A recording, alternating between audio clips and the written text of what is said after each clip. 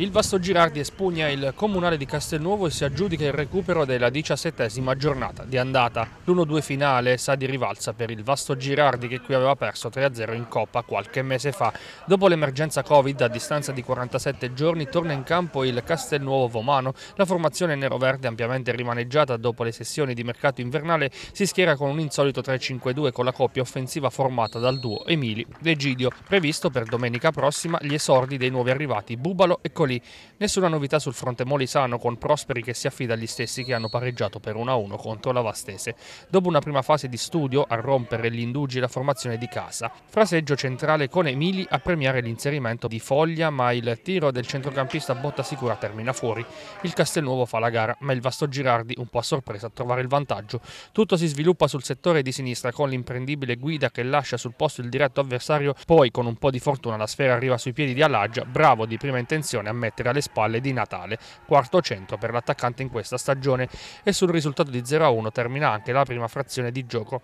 Ad inizio ripresa subito episodio da Moviola in area alto Molisana. Foglia entra a contatto con Montuori ma per il direttore di gara è simulazione doppio giallo per il centrocampista che lascia il campo anticipatamente tra l'incredulità dei pochi presenti. Il Castelnuovo con la forza della disperazione prova una reazione seppur timida, sgroppata sull'out di San Severino, il migliore dei suoi, che nel tentativo di mettere dentro per poco non trova la deviazione prestazione vincente da parte di un difensore ospite.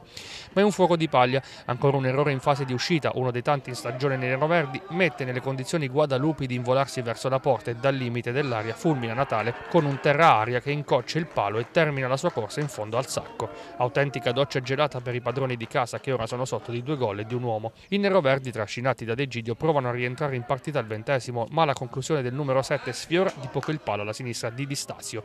Il vasto Girardi, forse appagato dal doppio vantaggio si adagia. Così il Castelnuovo al quarantesimo rientra in partita e il solito De Gigi a tentare questa volta dalla distanza siderare la conclusione trovando l'infortunio del portiere che non calcola il rimbalzo e si fa scavalcare dalla sfera. Il finale è un monologo nero-verde, ma nei tre minuti di recupero la squadra di Di Fabio non riesce ad avere lo spunto decisivo per pareggiare la sfida. Ora la classifica si fa sempre più preoccupante per i teramani, mentre il vasto Girardi vede sempre più vicina la griglia dei playoff. È sicuramente un ritorno amaro in campo quello del Castelnuovo, mister Di Fabio si aspettava qualcosa di diverso, anche se eh, come dice sempre l'impegno c'è stato, l'abbiamo visto fino alla fine, purtroppo eh, pesano questi tre mesi lontani dal, dai 90 minuti. No, ma mm, che potessimo no, avere qualche difficoltà a, a livello fisico dopo, dopo tanti, tanti, giorni senza giocare, questo l'avevamo preventivato, ma la squadra ha retto bene per tutta la partita. Eh, il discorso è che eh, ritorniamo sempre eh, a quello che stava accadendo prima non è cambiato niente perché la partita è in bilico, è equilibrio assoluto il primo tempo, anzi abbiamo avuto prima noi delle occasioni per, andare in vantaggio, poi dopo secondo tempo nel maggior momento di pressione nostro un episodio che io dalla panchina ho sentito il rumore de, de, de, delle scarpe che si sono incrociate e addirittura il rigore non ce lo dà e ci dà l'espulsione del, del nostro giocatore, è normale che poi eh, rimane in 10, no? eh, nonostante ci siamo rimasti abbiamo cercato di giocarla fino alla fine, abbiamo commesso un errore sul gol del 2-0, eh, non abbiamo mollato, eh, abbiamo fatto anche il 2-1 in 10, ci abbiamo creduto fino alla fine, eh, lo spirito è quello giusto, okay? quello che, che, che mi interessa in questo momento, ai ragazzi ho fatto i complimenti, sicuramente oggi eravamo eh, avevamo qualche assenza di troppo, sono arrivati eh, qualche giocatore nuovo che ci verrà da una mano, però lo spirito è quello giusto, quindi eh, andiamo avanti su questa strada senza preoccuparci più di tanto eh, della sconfitta di oggi. No, rivincite no, sicuramente abbiamo perso male quella partita e non ci era piaciuto come, come l'avevamo fatta, questo è poco ma è sicuro. Non avevamo rivincita, volevamo fare i punti perché noi ci servono per salvarsi che è ancora lontanissima la salvezza, quindi il campionato è durissimo. Anche Castelnuovo comunque ha fatto la sua partita, è stata una partita molto difficile. E no, nessuna, nessuna, solo che ci servono i punti.